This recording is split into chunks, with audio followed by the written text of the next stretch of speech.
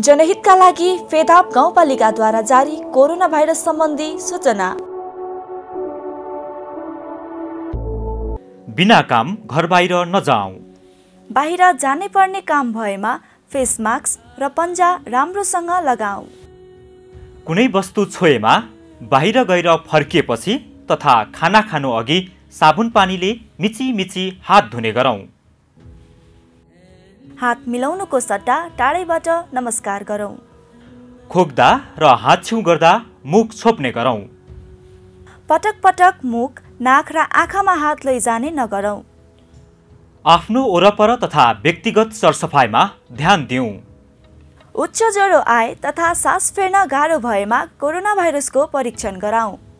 Corona virus सङ्क्रमितको सम्पर्कमा आएको भए तथा शङ्का लागेमा कम्तीमा चौध दिनसम्म घर बाहिर नजाऊ कोरोना भाइरसको सङ्क्रमण देखा परेमा डराउने र आत्तिने काम नगरौँ तथा अरू सङ्क्रमितलाई सहयोग र माया गरौँ।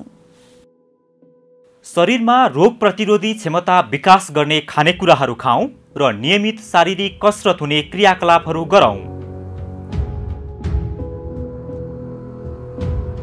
फेदाप गाउँपालिका तेह्रथुम प्रदेश नम्बर एक। नेपाल